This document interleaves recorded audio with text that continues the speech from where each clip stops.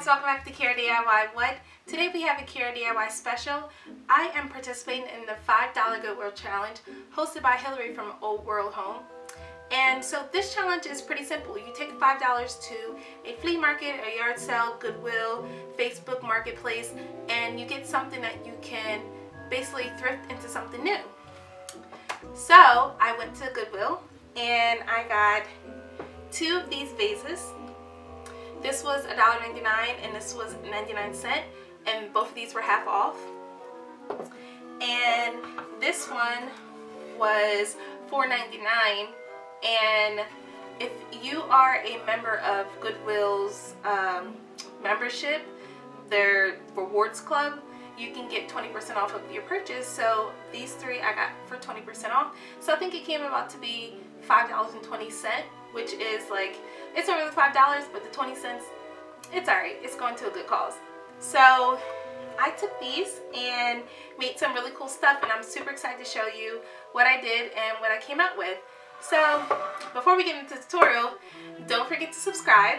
Click that subscribe button down below. Click the bell so that you're notified each time I upload a video. But also, don't forget to check out Hilary's channel at Old World Home. I'll link her down below in the description box and also you can click the link up above if you want to go to it right away after you watch this video.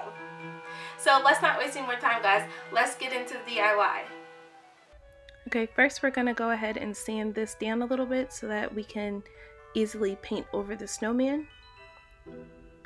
Once you have that sanded down, we're going to use red paint and painter's tape. You'll see that once you sand it down, it's nice and smooth and easy to cover with the red paint. I left the uh, sides the way they were just to give it a little bit of vintage character. Go ahead and cover the parts around the top of the sleigh that you're not going to paint. I decided to cover it with painter's tape just because I know that painting gets a little messy.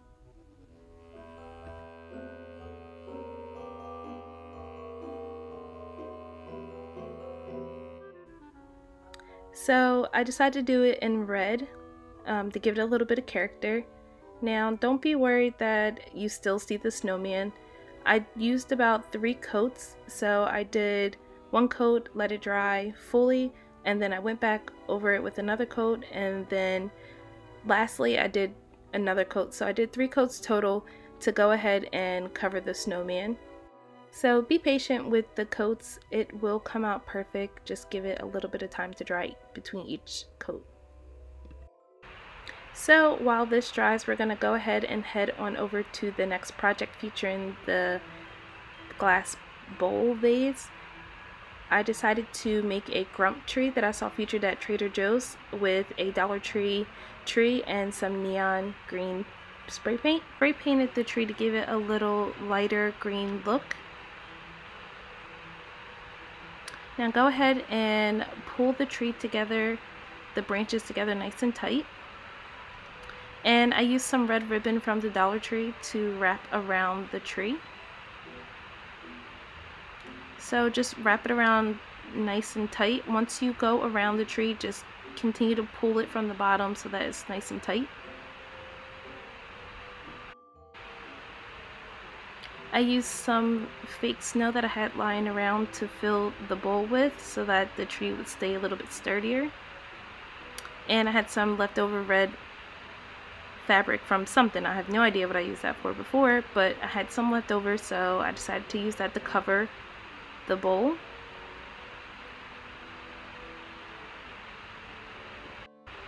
So go ahead and wrap the vase with the red fabric, and I used some wired jute that I had from Dollar Tree from some other project, and I just took that and tightly wrapped it around the vase to give that bunched look so you can bunch and go along the vase and you can go ahead and snip as you see fit to give it a nice bunched look.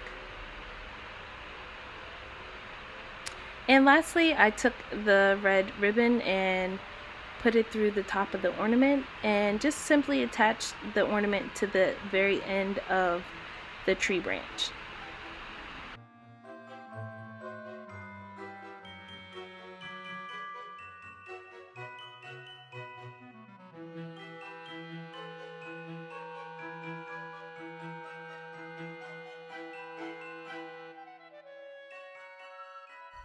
And that's it. I have my own grump tree that I can use for home decor or I can use in a little office space on a desk or anywhere. Okay, and now we can head back on over to the sleigh which has dried. I took some a piece of garland that I had from the Dollar Tree, some tinsel from the Dollar Tree, and a little embellishment from the Dollar Tree, and made a little tiny wreath that I can use as the O in the middle of the sleigh. Putting that together was nice and simple. And I have a J and a Y that I didn't use from another project that I decided to use for this go ahead and glue that on. I used hot glue, you can use E6000, wood glue, whatever you think will allow it to stick. The hot glue worked just fine for me and they haven't moved a bit.